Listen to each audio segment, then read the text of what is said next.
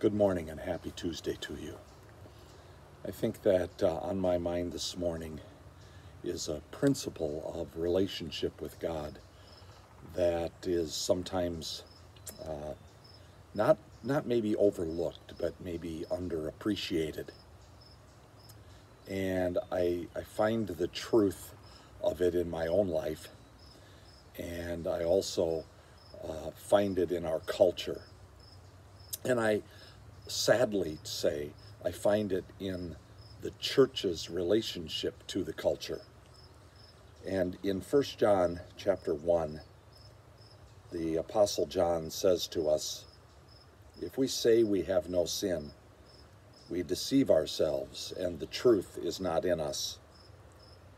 If we confess our sins, he is faithful and just to forgive us our sins and to cleanse us from all unrighteousness. The issue I'm dealing with this morning is forgiveness. Forgiveness. Being able to tell that person who has hurt us and offended us that we forgive them, just as Jesus has forgiven us.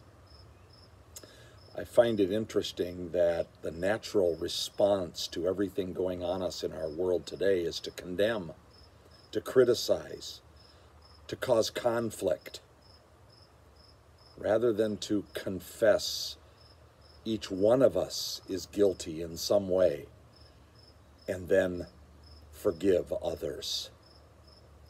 May the joy of relationship with Jesus Christ grow in our hearts today when we forgive as we have been forgiven by God. God bless you. Have a wonderful day.